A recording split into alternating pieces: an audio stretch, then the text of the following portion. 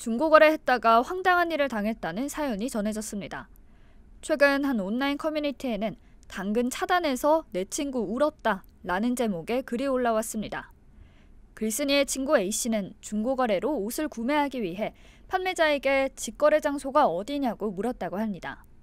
이에 판매자는 땡땡역 6단지 아파트입니다. 라며 주소를 알려주곤 직거래를 하기로 약속을 잡았다는데요.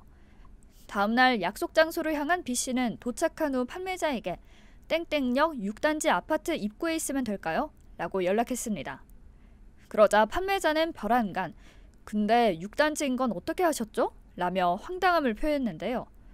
이어 알려준 적이 없는데 좀 이상해서 거래 취소할게요. 라며 일방적으로 A씨를 차단했습니다. 당시 1시간 반에 걸려 약속 장소에 도착했던 A씨는 영문도 모른 채 근처에서 20분간 맴돌며 내가 뭐 한다고 중고거래 해서 이런 취급을 받나 싶어 눈물을 보이기까지 했다는데요. 주소를 알려줘 놓고 주소를 어떻게 알았냐고 불쾌함을 토로한 판매자. 상당히 당황스럽죠.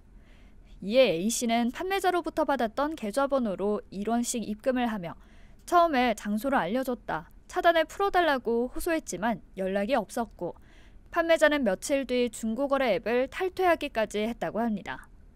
사연을 접한 네티즌들은 어이가 없다. 일부러 저런 거 아니야?